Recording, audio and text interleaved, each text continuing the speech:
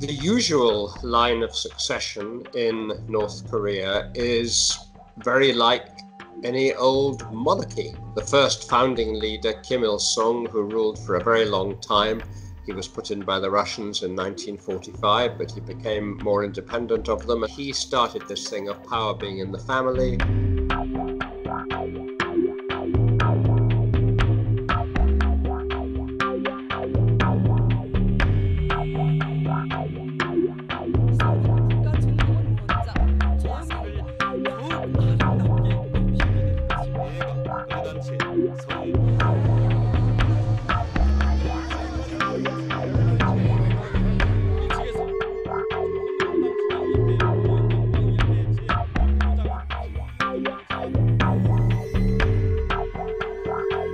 It is very patriarchal. You have the cultural inheritance of Confucianism. Obviously, it's officially repudiated, but this is, you know, for, for centuries, the particular hierarchy is based upon age and also on gender. There are still very few women uh, as ministers in senior positions of any kind. So, Kim Yo Jong, if, if she were to have a chance to succeed, I think she would face a lot of obstacles.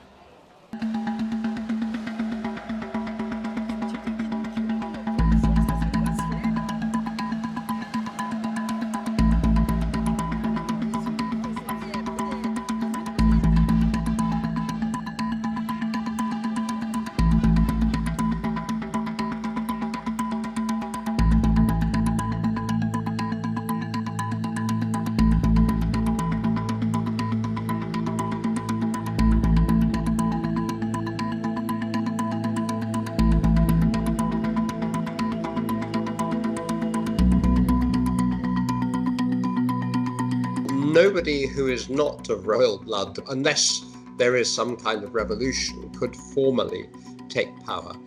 But behind the scenes, in terms of what factions, what opinions, again, we don't know for sure, but almost everyone would need a Kim as a figurehead.